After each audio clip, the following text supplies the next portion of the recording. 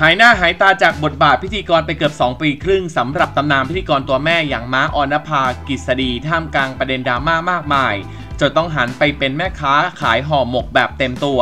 และก็มีคลิปที่กลายเป็นไวรัลดังในโลกออนไลน์ เมื่อพระเอกหนุ่มณเดชน์คุกิมิยะ พุ่งตรงไปอุดหนุน แถมยังซื้อไปฝากแม่ตัวเองด้วย โอ้โหโอ้ยถ้าแม่มานี่แม่ดีใจเลยนะเป็นยังไงสบายดีสบายดีมากๆครับขายอะไรครับนั่นเอ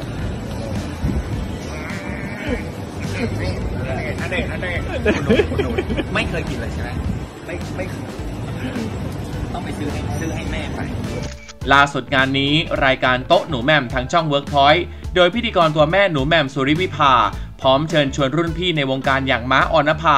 และคุณแม่วัย 98 ปี มาเปิดอกหมดใจเล่าทุกเหตุการณ์วิกฤตในชีวิต มาออนภากล่าวว่าเหตุการณ์วันนั้นจริง ๆ ไม่รู้หรอก แต่ว่าช่างผมเดินลงมาซื้อห่อหมกเป็นประจำอยู่แล้ว เวลาที่เราไปขาย แล้วพอซื้อเสร็จเขาก็นั่งคุยกับดิฉันเขาบอกว่าณเดชมาตัดผมเพิ่งเสร็จ เดี๋ยวโทรให้มาหาแม่ดีกว่า นางก็เลยโทรบอกว่ายังอยู่ เขาก็บอกว่าเดี๋ยวมาเราก็นั่งคุยกันอยู่สักพักณเดชก็เดินมา เราก็ดีใจจังเลยคือ 2 ปีครึ่ง ที่ไม่ได้อยู่ในวงการ เราก็ไม่ได้เจอใครเลยนอกจากใครจะมาหาเรา พอเราเจอเราก็ดีใจ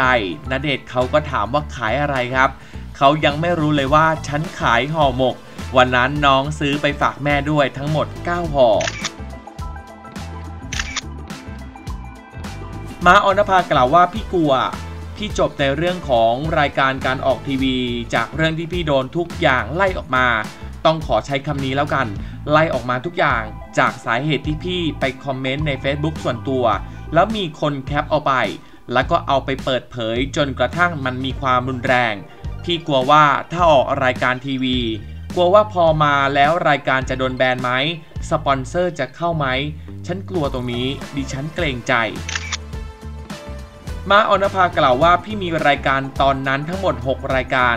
หนูแม่มเป็นยังไงออนภาก็เป็นอย่างนั้น ช่วงนั้นออก 6 รายการต้องตื่นตั้งแต่ตีสี่จากตีสี่ลากยาวถึงเที่ยงคืนทุกวันเลย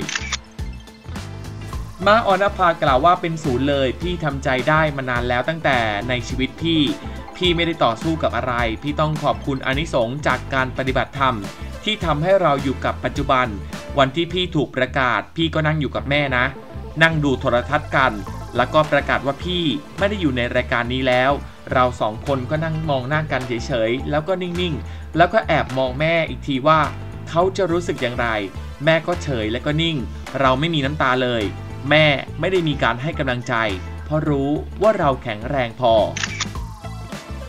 มาออนภากล่าวว่าพี่ก็ไปท่องเที่ยวในที่ต่างๆ เป็นเวลาเดือนหนึ่งไม่ว่าพี่จะไปไหนก็จะมีคนเข้ามาโอบกอดพี่ พี่ร้องไห้ตลอดเวลา แต่ว่าวันที่พี่ถูกไล่ออกไป พี่ไม่ร้องไห้เลยนะ แล้วพี่ก็นิ่งมาก คิดว่าเราจะทำอะไรต่อดี ฉันไปเที่ยวก่อนละกัน มีเวลาให้กับตัวเอง พี่เที่ยวล่องใต้เป็นเดือนๆ พี่ขึ้นเหนือเจอแม่ชีกำลังให้พรอยู่ตรงหน้า พี่แบบว่าน้ำตาไหลพรากไม่หยุดเลยทีเดียวมาออนภากล่าวว่าพี่ใช้ปัจจุบันใช้ธรรมะที่มี ตอนนี้เราตกงานนะ ต้องเข้าใจว่าเราตกงาน ตอนนี้เราไม่มีรายได้ เราเป็นศูนย์ เราต้องอยู่กับความเป็นสัจธรรม อย่างหนึ่งที่มันทำให้พี่ไม่เสียใจมาก เพราะว่าพี่ไม่ประมาทในชีวิตไง ต่อให้ทุกวันนี้เป็นศูนย์แต่พี่ยังมีทุกอย่างแล้วก็มีครบด้วย มาออนภากล่าวว่าพี่เห็นข่าวแล้ว คือเราต้องไม่ประมาทในชีวิต